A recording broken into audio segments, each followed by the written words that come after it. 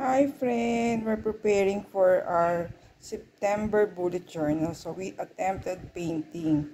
Friend, alam ko ngayon, uh, in the Philippines, this is our third ECQ. So maraming time at home, stay home, quarantine. So ayan, we made this sunflower. So we use our uh, watercolor.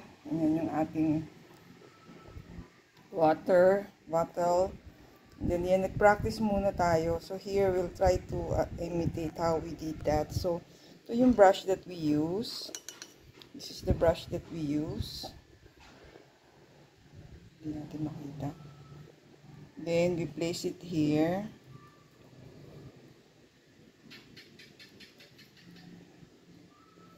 Then, yan,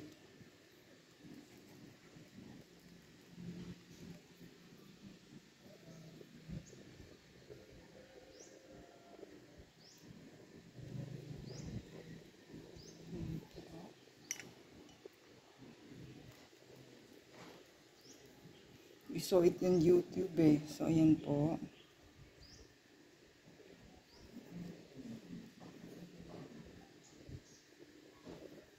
Then, for the middle, this brown. Ating middle po. Yan, iyan naman natin. Dot, dot, dot. That's what we did here. Nag-sample muna tayo before we made it on our bullet journal. Yung leaves, ang ginamit natin sa leaves, ay ang green watercolor natin. Tapos, ganun din.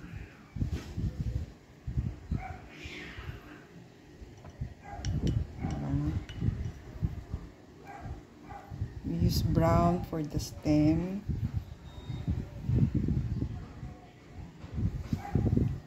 Tapos, we have to rinse our brush. Green nga po. For the leaves.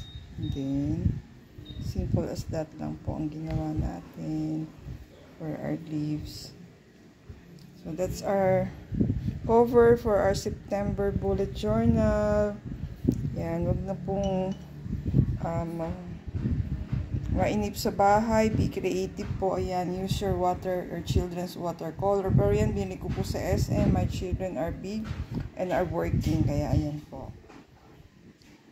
Pag, medyo pag wet, medyo ganyan po itsura. Pero pagkatapos ng ganyan na po yung itsura niya. Oh.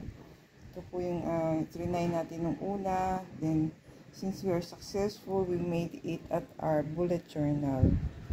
Friend, ayan. Be creative, be productive during these quarantine days para mawala po yung anxiety and worries natin. Let's try art po.